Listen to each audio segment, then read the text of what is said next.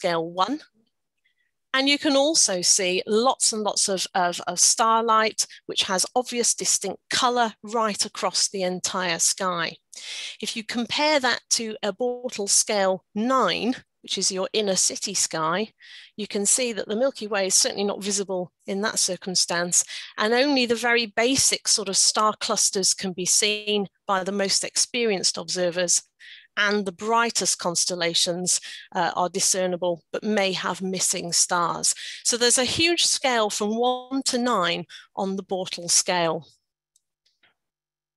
So have a little look at um, actually the Milky Way from planet Earth. So this is what we would expect to see in the darkest parts of Exmoor National Park on a dark, uh, clear night.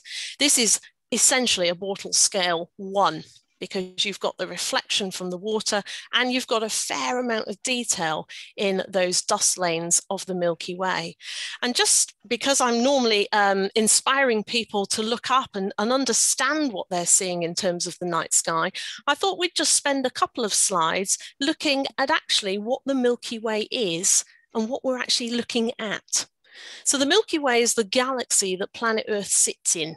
It's, it's where the solar system operates and essentially, it's a galaxy in space, a galaxy containing a, more than 100 billion stars.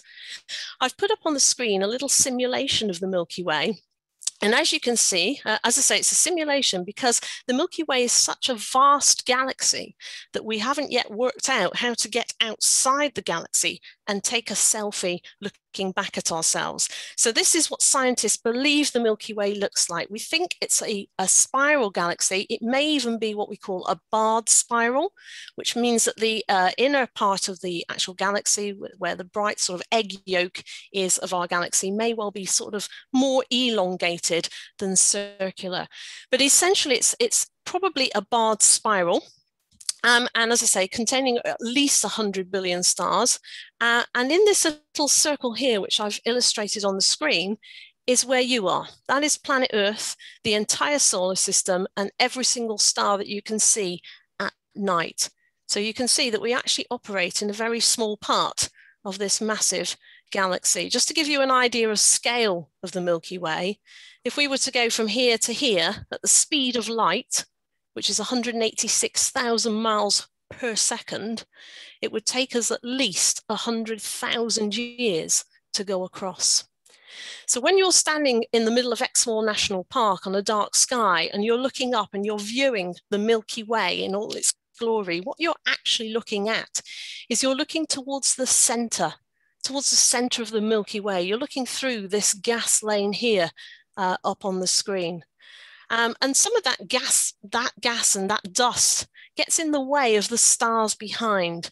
So quite often when you look at the Milky Way, you'd see this sort of black stretch of dust, which seems to glow from behind. So essentially you're looking towards the center. And as I say, that's how we measure light pollution, uh, certainly from Exmoor and on the Bortle scale. But light pollution is not just a UK problem. Here we've got a map uh, taken from the very kind permission of the International Dark Sky Association. And you can see uh, quite clearly uh, where the problem of light pollution truly exists.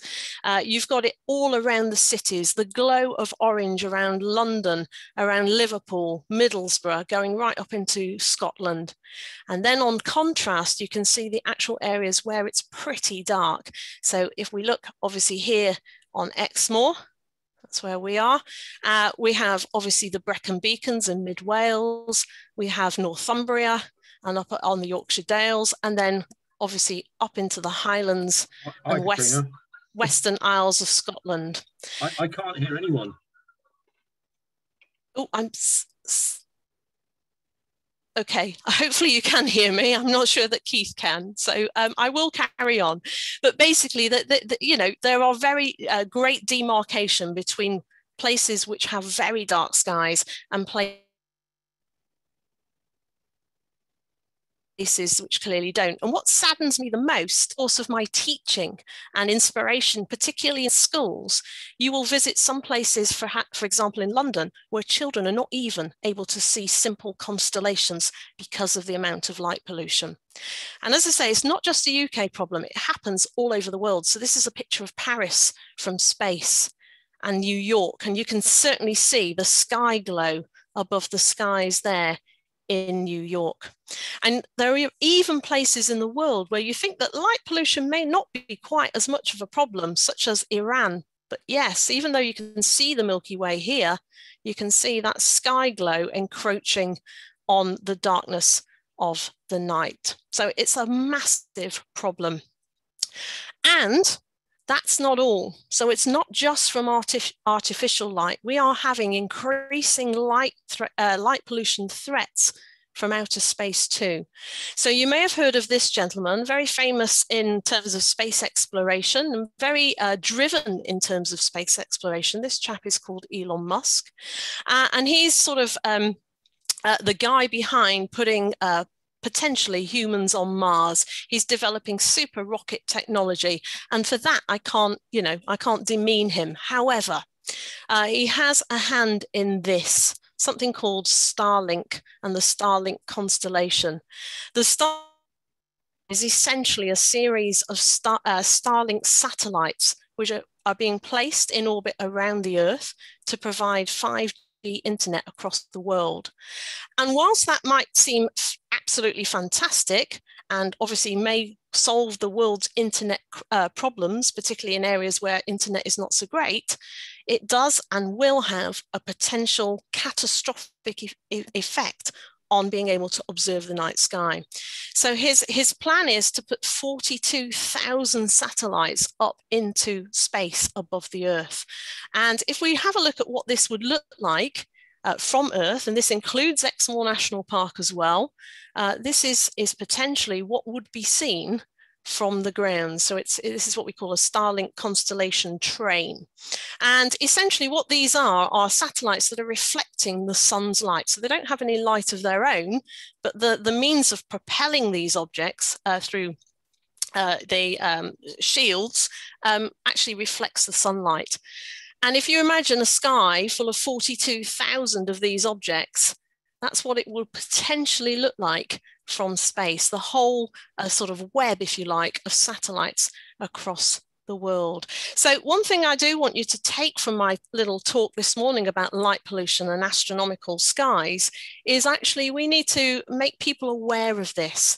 It's, um, you know, from the ground, it can be seen as, as quite a cool thing to look at, but actually we need to make people aware that this is and has the potential to be quite detrimental to observing the night sky and maybe lobby councils and so forth uh, against it. So what about Exmoor? Well, Exmoor um, has, has previously been said, was one of the first uh, dark sky or Europe's first dark sky reserves. But since uh, that time in 2011, uh, more detrimental effects of light pollution, particularly on human health, particularly on wildlife, but also particularly on observational ast astronomy. And so various different places across uh, the country have now set up and we're getting much more recognition in terms of why it's important to keep, your dark skies uh, really, truly dark. So let's have a little closer look at Exmoor National Park. And obviously this map is probably familiar to all of you, but um, I've recently done um, a guide which Katrina is going to tell you and uh, tell you about and talk to you about um, about the best types of places on Exmoor to actually observe the night sky. But I want to just sort of show you actually how uh, Exmoor is actually split up and, and, where sort of to go if if you want to do some serious one to three Bortle scale stargazing. So all the sort of purple areas here are pretty much Bortle scale one to three. So some of these areas offer the best opportunities to see a truly dark starlit sky, but that's not to demean any of the other areas that are in, in grey. Um, nowhere on Exmoor National Park is above a, a Bortle scale of four uh, four stroke five. Um, and so, you know, the whole park itself is, is an absolute fantastic gem uh, in terms of astronomy, uh, stargazing and observations of the night sky. So um, you can normally see around about uh, a thousand stars at least with the naked eye on Exmoor National Park. Uh, and if we compare that to the nearest city to Exmoor, which is, is Taunton, um, yeah, you're, you're lucky if you can see 50. So, you know, even within that sort of short distance, uh, we go from having truly dark to, you know, this is probably a Bortle scale eight stroke nine. Uh, and this is the place where we'd find children who are not able to see uh, star patterns and star constellations particularly clearly. So it's a real, real shame. And it is something that obviously Exmoor are working to maintain. And, and, obviously we do work really hard in order to keep the skies above Exmoor truly, truly dark. Uh, what a beautiful place. So this is a fantastic picture of the Milky Way taken from, uh, you probably recognize it, but it's uh, Dunkery Beacon. And as I said to you before, you're looking towards the center of our own galaxy. Uh, here's that dust lane I was explaining about. So the darkness of that dust is literally clouding or shielding the glow of all of those 100 billion stars uh, behind it. So, you know, truly standing here looking at that, it gives you a sort of sense of scale of the universe uh, that we live in. It's, it's immense. Um, in case you're interested in finding out more about the value of a dark sky and how it affects astronomical observations, but also research and science. Uh, these are some fantastic websites that you can take a look at. Uh, I would certainly recommend this one, the Commission for Dark Skies, uh, which goes on to talk about light pollution in detail, and also sort of some of the mitigations that you can use for light pollution, because it's not necessarily about using no lights, it's using the right type of lighting at the right time and for the right purpose. So there's some super tips on uh, the Commission for Dark Skies on how you can do that.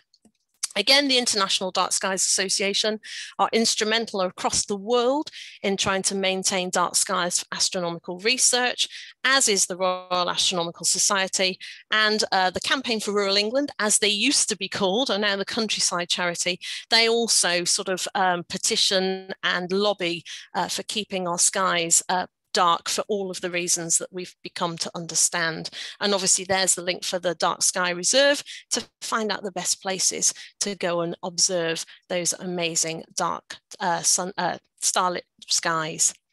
So I'm going to leave you with a little video which um, actually explains basically what I've said, but actually with visuals. So visual images of the night sky across the world.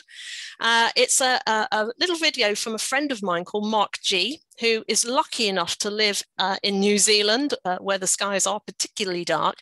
But his message in this video um, is really key for everybody. It's key for everyone across the world in actually maintaining the darkness so that we can preserve the night sky for the future generations to come. So enjoy.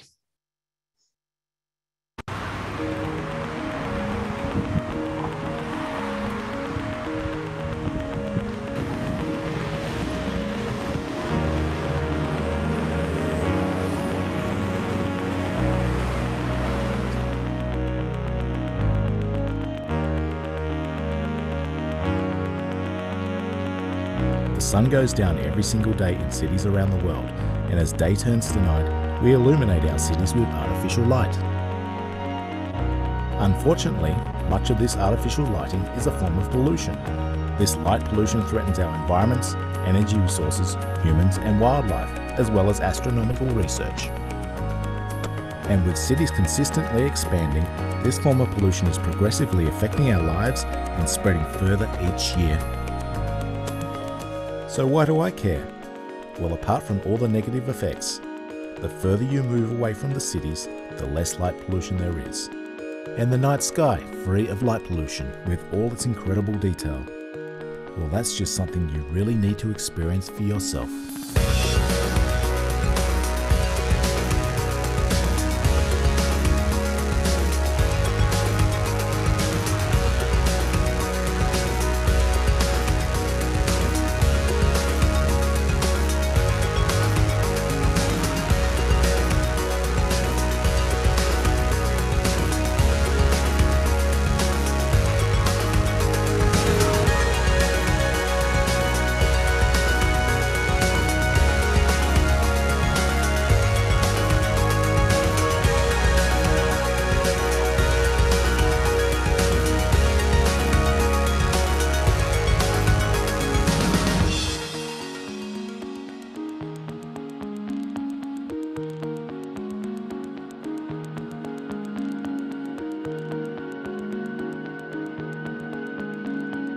Life without dark skies? You don't know what you're missing.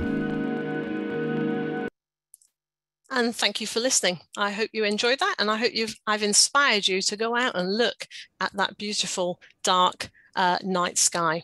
Thank you. Jo, thank you very much indeed. That was absolutely fascinating. Um, I'm glad you mentioned about Starlink because I was looking for the um, International Space Station a few weeks back. Um, there were so many satellites in all directions, I didn't know what I was looking at. Um, they really are a problem. But anyway, yep. thank you. That was excellent. You're very welcome. Okay, um, that leads us on conveniently to our second speaker, who is uh, Katrina Munro. And Katrina is the Economy Project Officer for the National Park Authority, uh, which supports tourism. It promotes local produce and, relevant to this, the dark skies. Over to you, Katrina. Everybody. Um, yes, thank you for the introduction, Nigel. Um, yeah, I'm really pleased to speak to you about um, some of the work that the National Park Authority are doing with uh, local businesses in order to promote astrotourism. Just firstly to mention, uh, we're all really well aware of the um, amazing landscapes that we have here on Exmoor and that they're the primary reason why over 2 million visitors come here every year. Um, but when we think about the local economy and the importance of tourism on the economy, we really want to ma maximise the, the, amount of visitors coming here every year, um, within reason, obviously. Um, but it's really important that we look at um, everything that the national park has to offer. And as you've heard from Jo, um, our incredibly dark skies really add to our offer here in in um, in the southwest. The um, in, in, in addition to our incredibly dark skies, the tranquility and that sense of wonder that people can experience is quite unique. Um, and also the nocturnal wildlife that people can um, in, uh, experience if they come here. So what is astrotourism? Basically, it's all about people holidaying in a rural um, destination that has beautiful landscapes. The great thing about astrotourism is a lot of it is also done out of holiday peak holiday season. Um, because the nights get darker slightly earlier in the autumn and winter, um, and it's not quite so cold, um, the autumn and winter is a great time to attract people to come to Exmoor um, to make use of the stargazing opportunities. So that's a great asset for the national park in terms of the local economy. Um, but also astrotourism is great in, in respect to the fact that it's really important that we um, help people better understand and really value the uniqueness of our dark skies so if people come here and experience the wonder of them, they're more likely to appreciate the importance of dark skies um, and not having huge light pollution. I'm just going to share a couple of screens with you.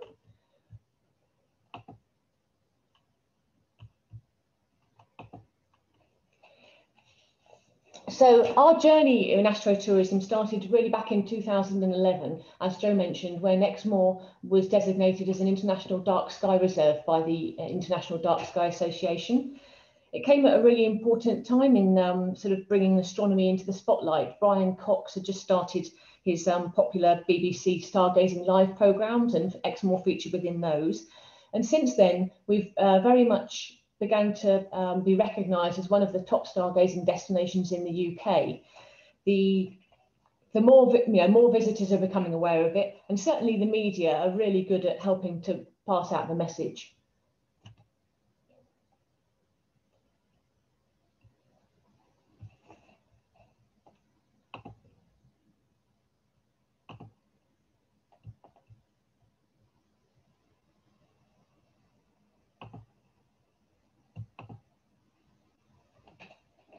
Sorry about that.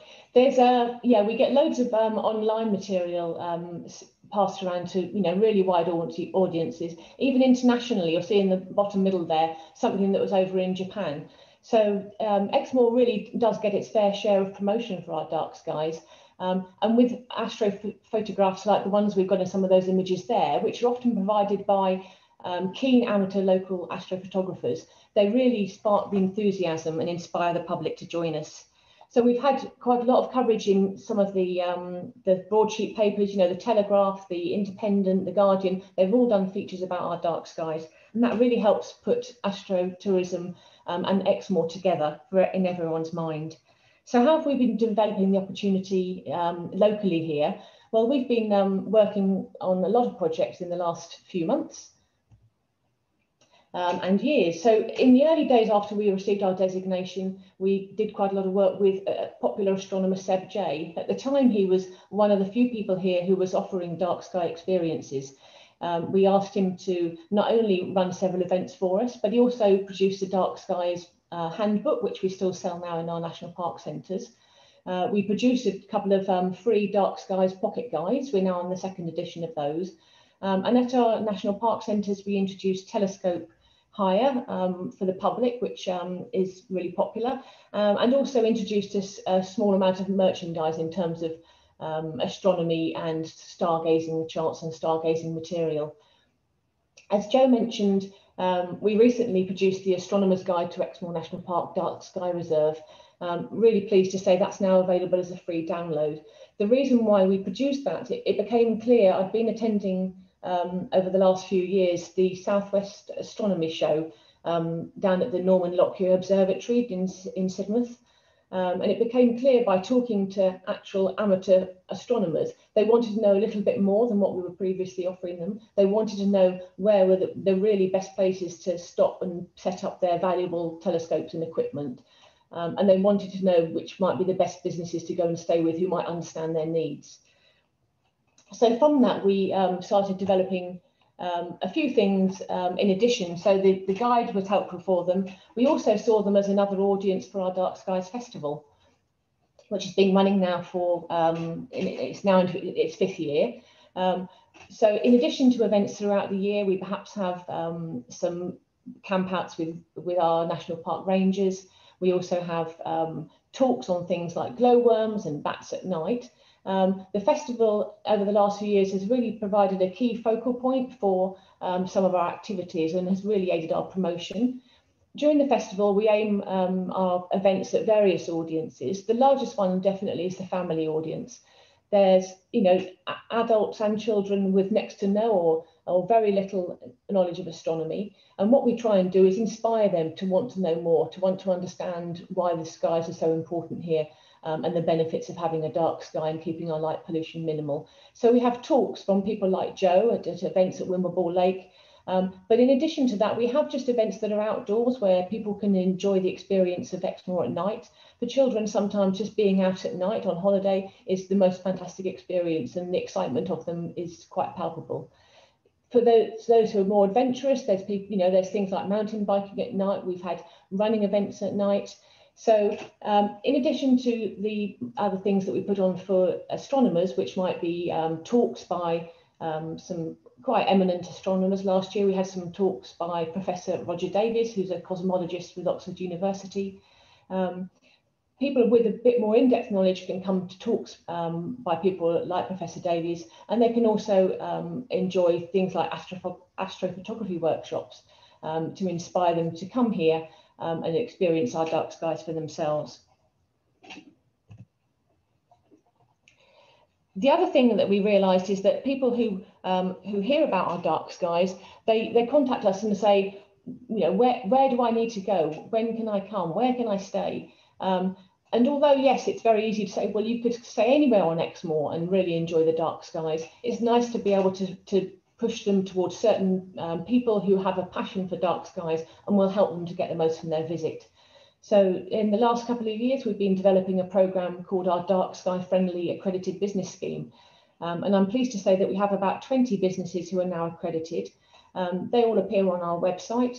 Um, but those businesses, basically, they generally are accommodation providers, but they've had training um, by Jo um, and from ourselves in learning more about the night sky and learning more about how to help people spot basic constellations, to talk about the movement of some of the planets, and to talk about the issues surrounding light pollution.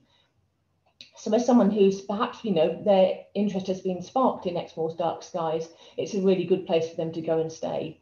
In addition to the knowledge that those business owners now have, um, a lot of them also have now have equipment that can be available to loan. They might have um, just basic equipment like it might be a, a ground sheet or blankets. It might be a, a flask available that they can go and make themselves some hot chocolate so they can sit out or lie out on the grass in the dark, um, look up and really experience um, what it's like to look up at thousands and thousands of stars. Um, some of them have gone a step further and some of them have binoculars and uh, telescopes that you can also borrow. So those 20 businesses um, are really doing their best to push out the message for us. Um, and as such, we hope are benefiting from receiving its stargazing enthusiasts. Some of the, uh, uh, a couple of businesses there, and in particular, there's a business called Wild About Exmoor, who are based at Exford. Now, um, pictured in the middle there is Jenny Wild, her and her husband have been running dark skies experiences on Exmoor for several years now and have really gained valuable experience and knowledge in running events, um, both static with telescopes and talking about what they can see in the night sky, um, but also taking people on walks at, at night. Um, and they've been really well received. We're um, pleased to have um, just recently um, put them and Exford Bridge tea rooms together they've formed a collaboration which we now call the Dark Sky Discovery Hub, it's a place where people can go to the tea rooms, they can find out more about stargazing in the area, they can see star charts of what's on in the night sky at the minute, they can also find out about events. Um, and starting on the 1st of June, um, Jenny and the Exford Bridge tea rooms are um, joining together and giving weekly presentations and stargazing evenings with a bit of a meal thrown in um, so that our visitors can enjoy the stargazing experience and learn about our dark skies all year round. So we're really pleased that's literally just come together in the last couple of months. Later on this year, we'll also um, be adding another dark sky discovery hub, which will be at Wimbleball Lake, um, where again there will be events happening all year round, which will be really key towards our dark sky and astrotourism office offer. The, uh, the last thing I want to mention that we're working on at the minute and we're going to be um, promoting later this summer is a dark sky discovery trail. Again, when I mentioned about the focal points that we need, so when people are thinking, where can I go? What do I do then? Um, we wanted to develop a walk which people could do safely at night that we promoted as a, a walk to be done at night. Um, and this walk um, is only it's only a mile or so long um, out on the open moor. But what's special about it is that it has 360 degree um, views of the sky. So on a clear night, um, you really will be, anyone will be completely blown away by the experience they have there. It'll be something that they can do themselves. There'll be, it'll be a self-guided experience. But in order to promote it, we will also have a, um, a sort of flyer and a downloadable information to help them do it safely um, and confidently. Um, and we will also be having a short film. And that's why we're not promoting it just yet, because we want to capture some footage this summer um, of the Milky Way that you heard Jo talking about, which we will use in our promotion of the Dark Sky Discovery Trail. So, um, as I said, we've got things now developing all year round for people to come and do. Um, there's loads of resources here. We've got businesses who are trained in helping people make the most of our dark skies.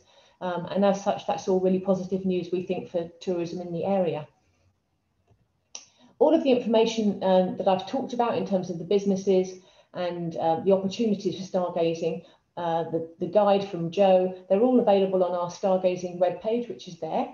Um, just as a backdrop for this uh, webpage, I've got one of Keith's photographs there, the sort of thing that we use to help promote Exmoor and our stargazing um, offer. So I hopefully um, that all makes sense. And if there's no not too many technical problems, uh, Keith will be talking to you next. Katrina, thanks ever so much. That was really interesting. So much going on, on the, in, uh, within the national park, and um, we're really lucky to have you pushing it forward like that. Thank you very much.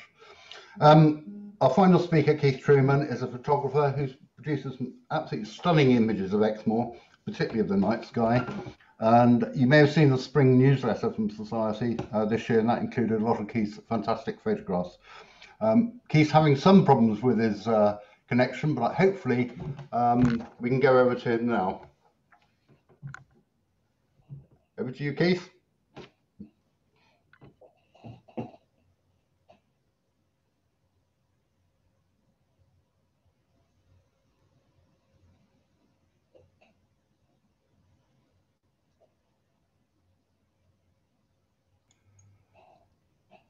Keith, we still can't hear you.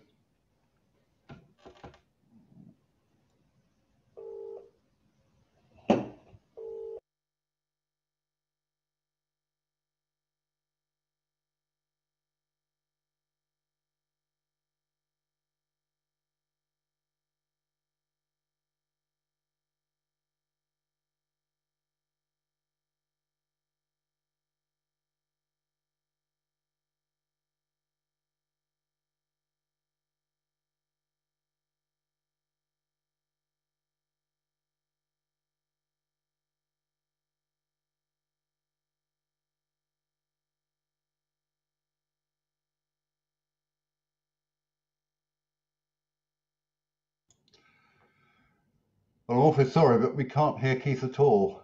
Um, so there's something going wrong with his connection, um, which is a great pity. Um, I'm, yeah, there's no sound coming through at all. I'm just wondering, Nigel, if um, if uh, Anne can unmute him. Um, yes, can you do that, Anne?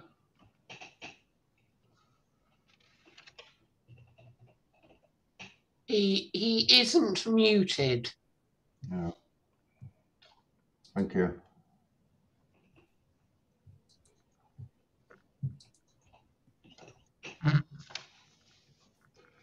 Keith, can, I don't know if you can hear us, but there's no sound at all. Um, I'm not sure what we can do.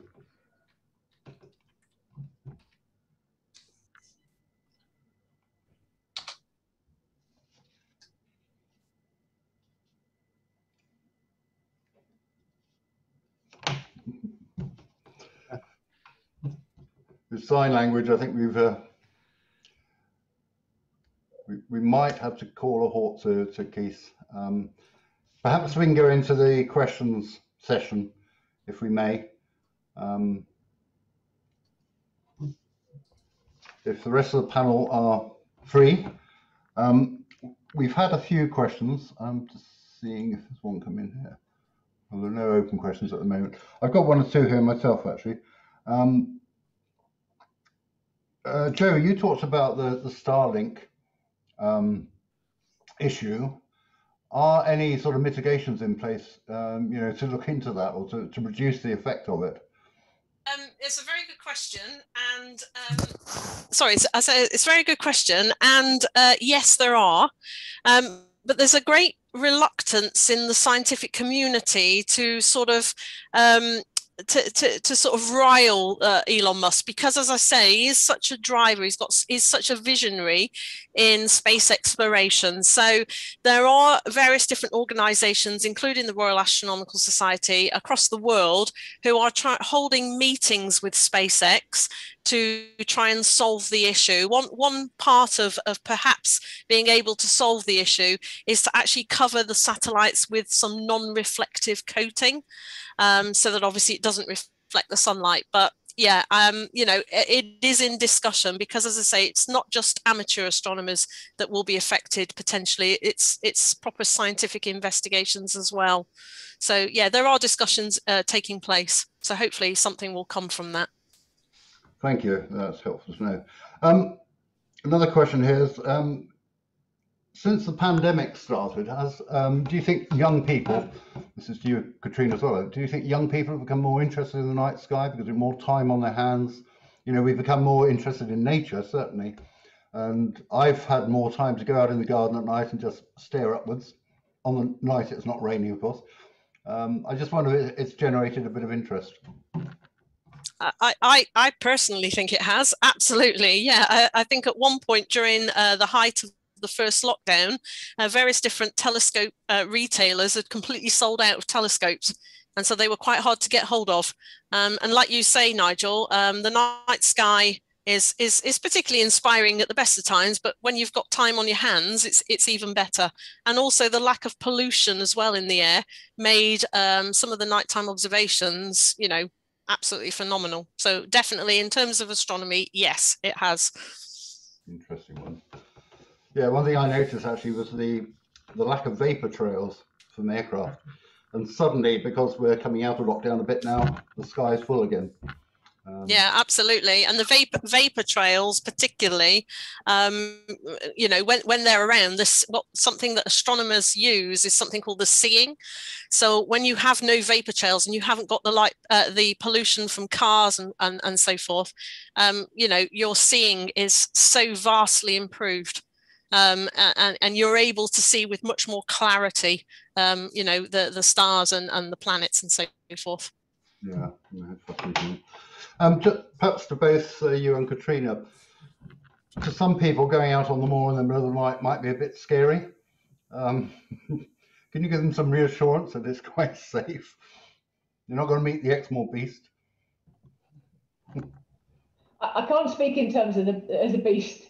Um, I mean, all I can say is that obviously we know that Exmoor is a, you know, pleasingly a very safe place to be anyway. Um, I think there are precautions that you can take in terms of just making sure that people know where you're going and know that you're going out, um, taking uh, your mobile phone with you and uh, and just being aware of what's happening around you. Uh, I mean, things like the Dark Sky Discovery Trail, that's, you know, we will give some guidance within that about the precautions that you need to take and what you need to be thinking about. Um, one, one question, in fact, I saw raised um, recently, which is relevant here, there was mention about, oh, is everyone going to be running around with torches? Um, because obviously torchlight is, as well is light pollution. Um, but in terms of uh, what we're talking about, and Jo's been talking about with stargazing um, and astronomy, then the sort of torchlight that we recommend is red torchlight, um, which is far less impactful on the eyes and also on um, wildlife. So it shouldn't be a problem. But also the other thing that I think a lot of people don't realise is that, is that if you spend time out outside at night in the pitch black without street lights, then actually after about 20 minutes or so, your eyes become accustomed to the dark and you can actually see your way and feel your way quite quite safely, uh, much more so than you might realise. And, and Jo, who spends far more time out on Exmoor and wherever in the middle of the night than me, can probably vouch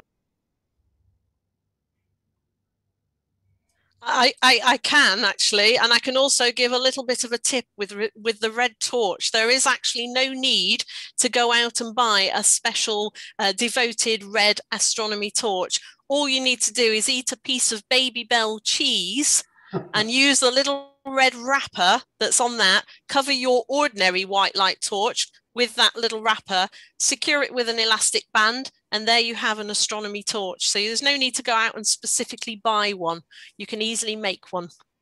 So yeah, it's it's very useful. Absolutely. Excellent tip, particularly if you like cheese.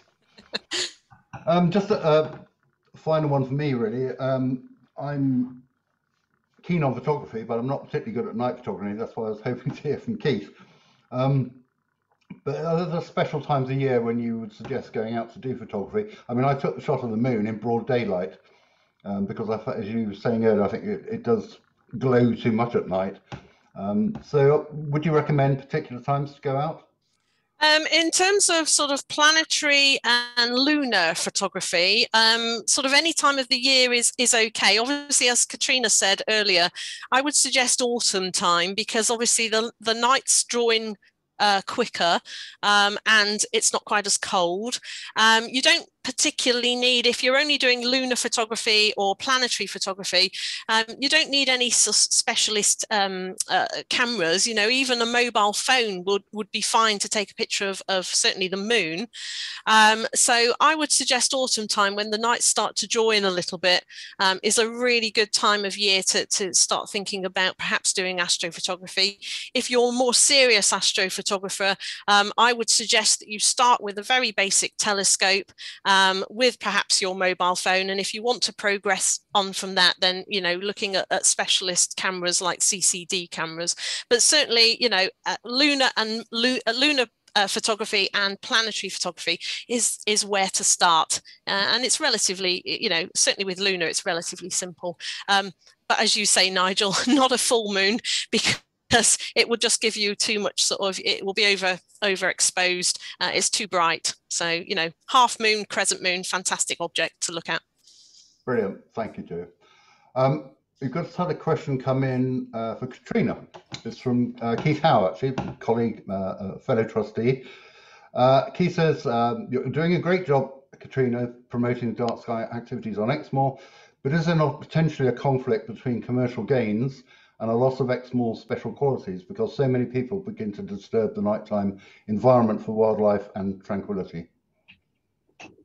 Um, no, I think absolutely not. I think the thing is with with stargazing um, is that it is really low impact on the environment. Um, I think what even even even with what we're trying to do and what we're aspiring to achieve in, in terms of our astrotourism off, offer, um, we're not suddenly going to become invaded by thousands of astronomers and people going out and spending every night, um, you know, out on the moor and, and um, interfering with wildlife. um, the numbers are still going to be, you know, relatively, you know, tiny compared to the the impact that the our visitor economy has during the day. Um, so I don't think, you know, we don't see it as a threat to our um, dark skies and our nocturnal wildlife. I think it's just really important that what we are trying to achieve is to get people to actually really appreciate them because, it, you know, in the same way as, as with um, nature and with wildlife, if people don't have a, a love of it and don't have an understanding of it, they're not going to help protect it. Um, and in the same way, if people don't go out and experience what uh, an unpolluted night sky can look like, they're not going to realise the detriment that light pollution has. Thanks, Katrina. Yeah, that's a very good point, I think. Um, there was one other question. It's not really related to today, but a previous session, and I can probably answer this one. Uh, so Lisa Eden, another trustee actually, who says that um, she saw a small bat flying in broad daylight in Horner Wood yesterday. Is this unusual? Um, I can answer that because my wife is a bat ecologist and I hope I get the right answer. But yes, sometimes bats will come out in the daytime. Um, very often, particularly at the early part of the year when they're coming out of hibernation and they're desperate for food to build up the reserves, which they would have been depleted over the winter months. And so they will sometimes emerge in daylight to, to feed. This is particularly true of Daubenton's bats. You will sometimes see them over the river uh, trying to feed. So it's not unusual, uh, particularly unusual. Uh, last year, actually, first part of the lockdown in the summer, we actually had um, a Barbastelle bat, a very rare one, flying around our garden, and it ended up sort of up under the tiles of our shed, which was that was unusual to see such a rare bat. But anyway, thanks for that question. Um, I think that's probably the end of the, the question sessions. There aren't any more. So what I'm going to do is hand over to Rachel Thomas, the chair of the society, to um, draw up the concluding remarks. Rachel.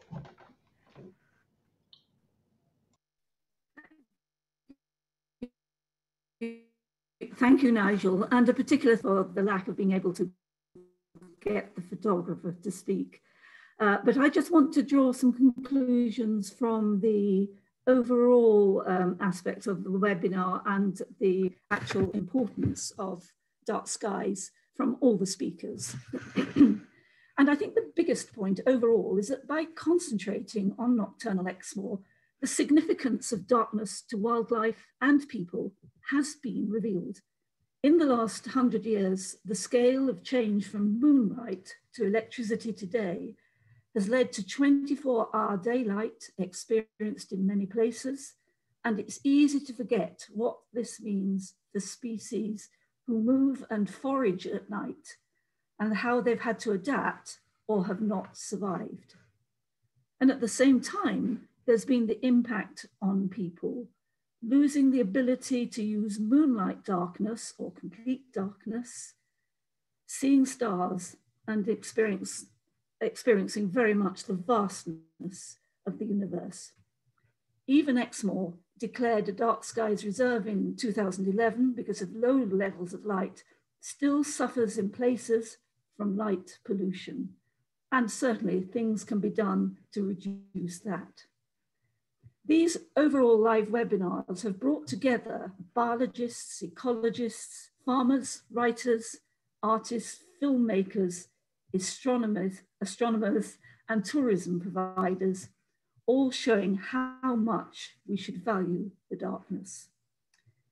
In the first webinar, Professor Fiona Mathews from Sussex University and chair of the Mammal Society gave some alarming statistics of how light, in her words, messes up the biological and ecological functions of two thirds of mammals who forage and feed at night.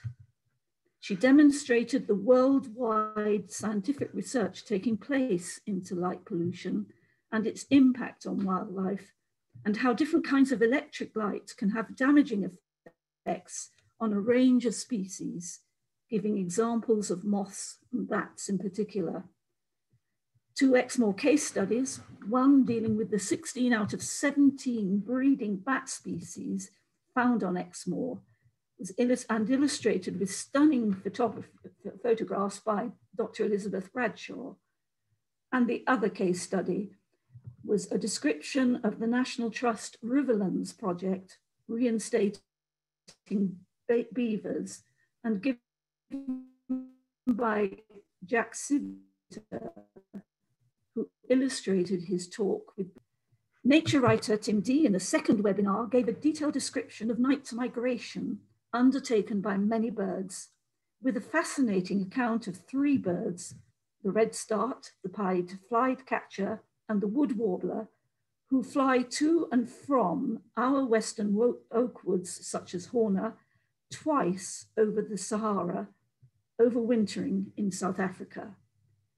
They fly by night because of it being cooler, with fewer predators, have no sleep for the 72 hours, and use their inbuilt map, compass, clock, and calendar. The case study was, was given by young Exmoor farmer Holly Purdy, who spoke movingly of the peace experienced at night after a very busy, active day, particularly when calving and lambing took place. And she went on to say how this can lead to deeper reflections. The third webinar showed how the arts can provide different insights into the importance of night to both wildlife and people. Giles Quarme, a historian and architect, explored how electricity has blurred night and day and the effect on living, on particularly rural living, starting in the 19th century with the use of tallow candles in both larger houses and cottages. He touched on how rural life has been idealized and ignoring the plight of the rural poor. Even in the 1960s, some tenants on Exmoor still had earth closets outside, but he finished on a positive note. The English cottage was still alive and well. Exmoor author Victoria Eveleigh described how she often wrote at night because there were few distractions and therefore could be totally absorbed in the story, releasing her imagination. Internationally acclaimed artist Susan Derges explained how nature can come to life through direct photographic printmaking and gave examples of her beautiful prints, for example, a hawthorn branch hawthorn at a full moon. And of course, this last webinar has looked in detail at the night sky with astronomer Jo describing how our ancestors experienced very little light pollution and only dark skies. And she gave some very good examples of how this pollution has gradually built up, and particularly around cities. And followed by Katrina Munro from the Exmoor National Park Authority on how this particular importance of night skies was such an asset for Exmoor and its importance particularly to astrotourism and the Exmoor economy. Hopefully, we had hoped Keith Trueman would provide useful tips about night photography. But finally, the Exmoor Society has experimented with these live webinars and realizes how different they are from conferences, being more intimate and less formal, appearing in some places as a fireside chat, and drawing in the unseen part participants to further understanding. There have been several mistakes with the technology. I was hoping to say only the loss of one speaker, but now have to add two. But even so, we have had pleasing feedback from participants on how much they have enjoyed and learnt from them. We will be using live webinars in future to reach new audiences with speakers from around the world, but also we hope to return to the conference format as well next year. So I want to just leave you with a few headlines from a professor, pull the curtains, turn off the lights. From a young farmer, we are part of nature, not separate. From an astronomer, Exmoor is a fantastic gem for stargazing and contemplating the universe. And finally, from a nature writer, three special birds not weighing more than 10 grams and with the brain size of a pea, fly to South Africa and back to Horner Woods Exmoor, crossing the Sahara twice every year. And on that note, thank you all for listening and hope that many of you will now be able to go on and listen more in detail uh, by going onto our website and hearing the webinars. Uh, and please excusing some of the gaps and mistakes that have been made. But thank you and goodbye.